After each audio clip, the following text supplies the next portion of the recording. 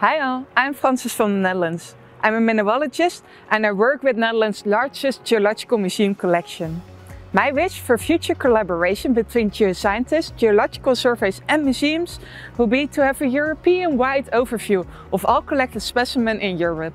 Having an overview of all collected rocks, ores and minerals would stimulate international exchange between specimens and collaboration.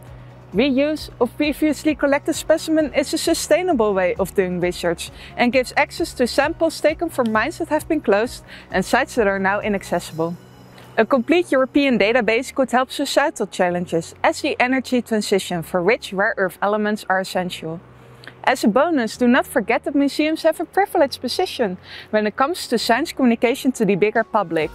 Using their geological collections and communicating the outcome of research could help them to educate the public about, for instance, mining in Europe and the energy transition.